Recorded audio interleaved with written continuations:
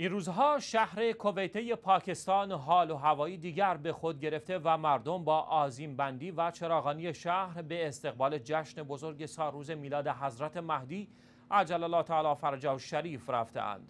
اخشار مختلف شیعیان به ویژه جوانان که همیشه در این مناسبت ها پیش قدم هستند این بار هم با آزیم بندی و چراغانی مساجد و معابر در مناطق شیعه همچون خیابان علمدار و بروری چهره متفاوت به شهر داده اند و همه چیز رنگ و بوی جدید به خود گرفته است. فضای آزیم بندی و چراغانی شده و زیبای سطح شهر موجی از شادی را در شهروندان به وجود آورده و در هر نقطه‌ای شیعیان پاکستان خود را برای برگزاری این جشن آماده می کنند. تعدادی از جوانان نیز شب نیمه شبان را برای برگزاری جشن ازدواج خود انتخاب کردند و زندگی مشترک خود را همزمان با این جشن بزرگ آغاز خواهند کرد.